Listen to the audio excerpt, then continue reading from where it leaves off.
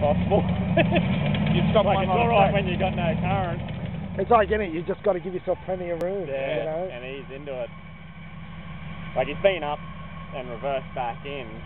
Um, I mean, I've operated bigger things than, than that. operated the big army ferry.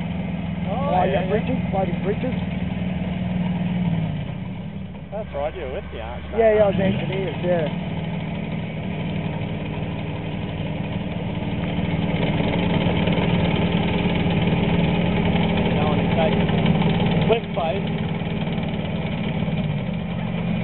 Watch out, Bob Rocket.